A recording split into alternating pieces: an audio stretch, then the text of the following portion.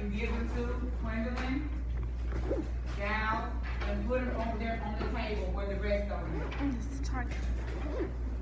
Do them the opposite way so they won't get mixed in. Girls, line up quietly. Girls, line up quietly at the door.